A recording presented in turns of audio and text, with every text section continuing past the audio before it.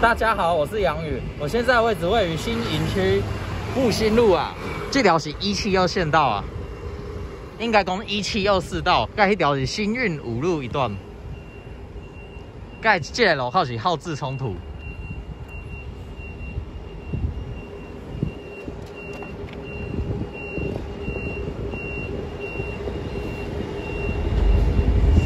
已经嘛绿灯啊，对吧？该咱看卖这边，伊是只有所通料，这这边很是号志冲突啊，这应该盖着。看卖当用早开实际还是轮棒？